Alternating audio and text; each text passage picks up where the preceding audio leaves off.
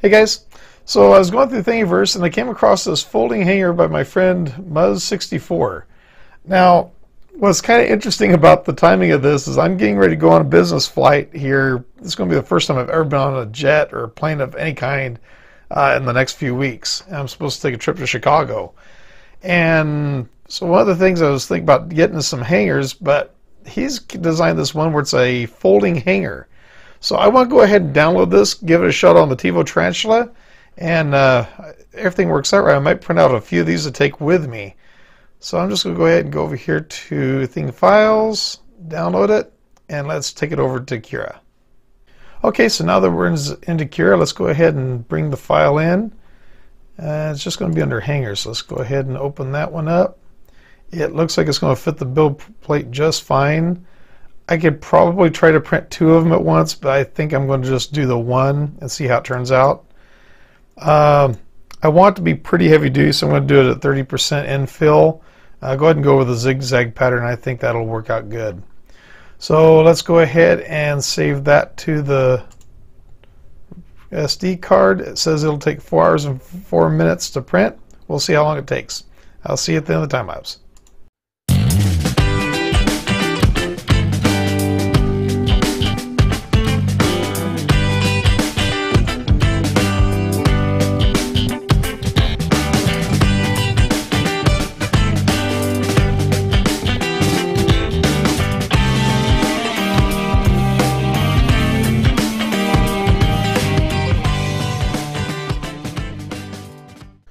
Okay, so that was 3 hours and 13 minutes.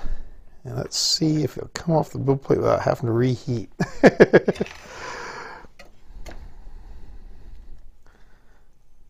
Starting to hear it. Yep. There it goes. Perfect. Now, for the moment of truth, will it fold out. Yes. And yes. Hey, actually, that turned out pretty good. I can't get the camera back far enough. Well, there we go. It actually folds out really nice.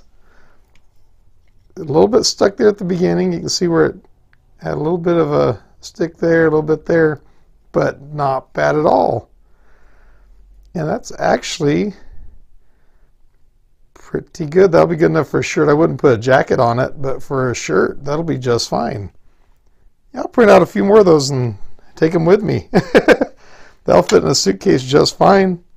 I'll print out about three or four more of them. I'll be good to go. Anyway, guys, I just wanted to give that a shot, and uh, that turned out pretty good. That actually looks really good. I'm surprised about that hinge. That hinge actually works very well. Anyway, guys, thank you very much for watching, and I'll catch you in the next one.